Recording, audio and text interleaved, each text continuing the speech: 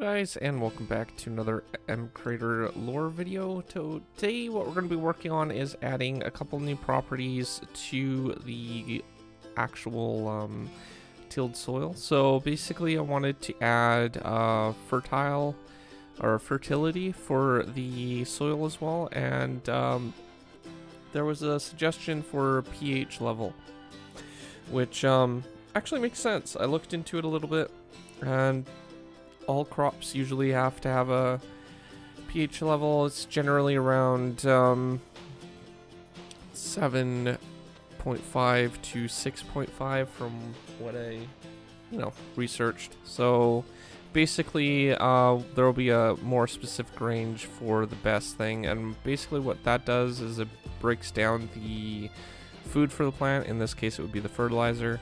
And it would allow it to um, put in the nutrients into the plant itself. So it does make sense to actually use it. Right now what I'm currently working on is just getting these values a little bit random so it's not always going to be the same. Um, I'm setting the other one that we had yesterday to 3 to 7 which should give a good nice middle range for the soil um, composition.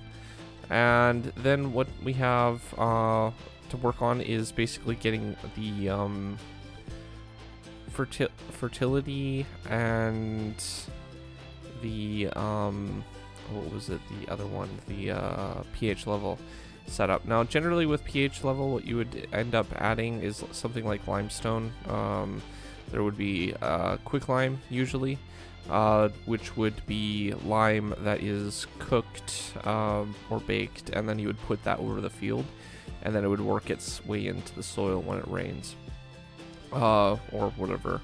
Uh, you could do the same idea with other other things as well, I'm sure, but uh, we'll probably be adding uh, limestone to the modification just so we can make quicklime.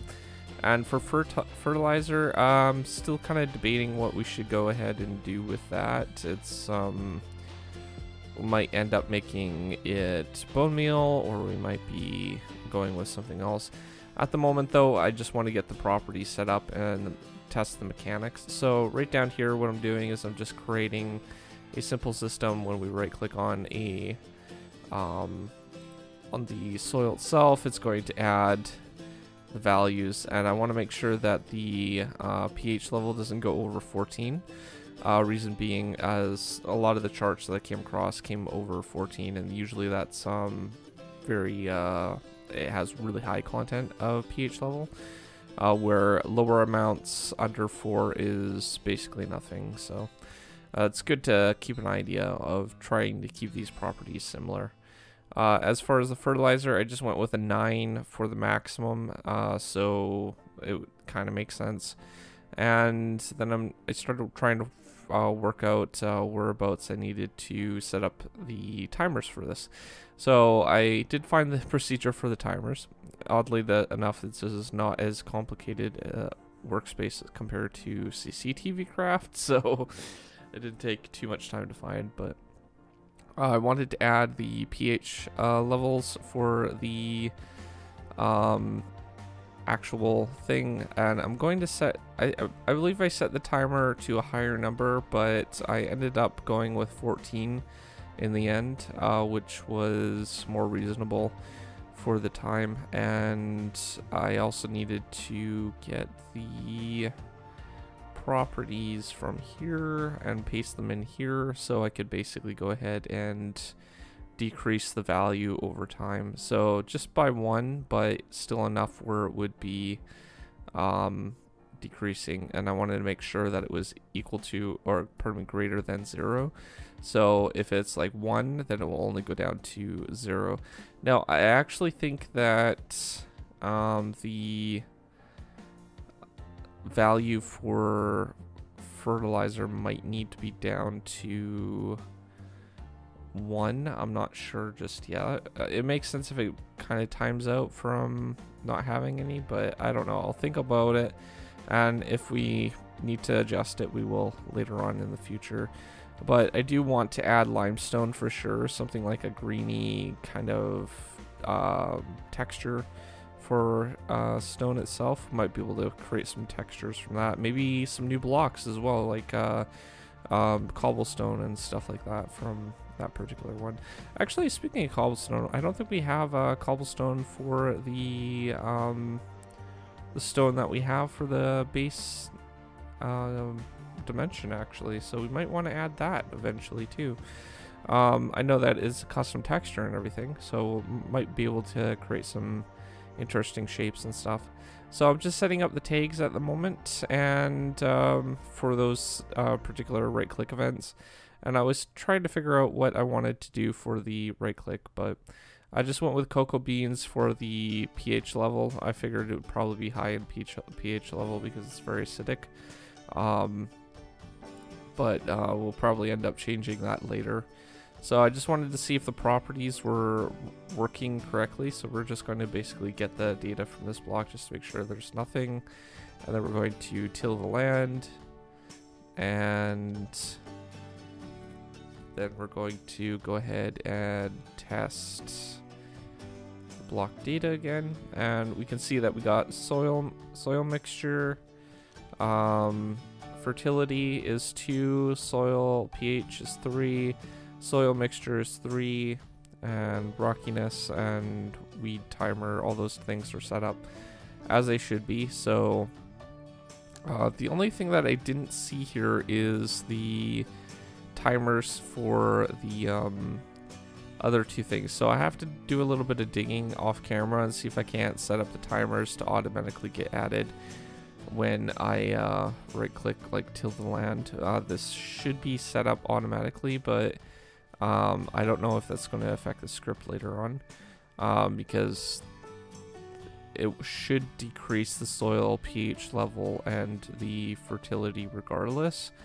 But um, I would, I, we'll, we'll sort that out later. Well, I will off camera and just try to fix that up. But uh, it's good to note that that's basically happening. So I basically increased the pH level, so to it's now to 4 and we increased the soil fertility to 3. So it was from 2 to 3 and from 3 to 4.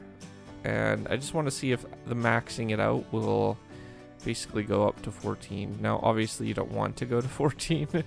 Generally, a healthy pH level is um, 7.5 to 6.5, but I'm sure there's certain crops that require something a little bit higher or lower. Uh, it really kind of is a balancing act of what kind of minerals and stuff are in the soil, so um, and what kind of things the plant gets.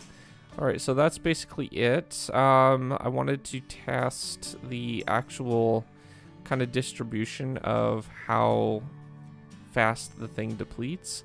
So I was just playing around with the. Um,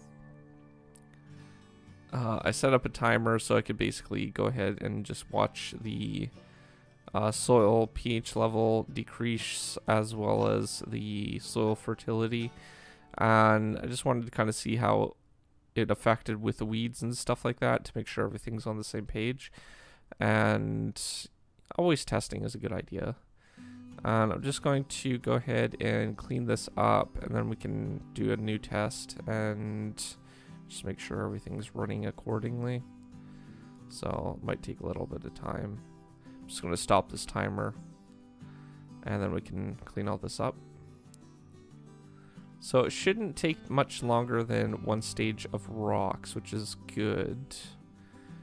So we'll go ahead and just test the um, data for this block, and then we'll go ahead and um, recalculate how long it's going to take. So this is exactly from zero to zero. So it's like right down to the bone of um, all the properties. So I wanted to see when it runs out how much we could actually get with a general uh, 7 uh, pH level and a we'll go with 9 fertilizer uh, just over a little bit.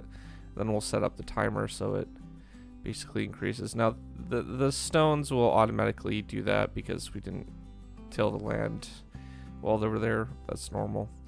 But they should start um, updating. And I just want to know if the okay, so the weeds are already fully grown. I'm just calculating how long it would take. Now we're going in through many days, right? So every time that, like every couple ticks, there's a day night cycle change. So I think it would be reasonable enough to have it set up that way because the pH level is still 2 and the fertility is 3. So it should last a few crops, maybe 2 at most. And I honestly don't think um, it'll be too much of an issue having it at 14. So anyhow, if you're new to my channel, don't forget to subscribe, comment down below, rate the video, and I will see you guys next time. Thanks for watching. Peace out.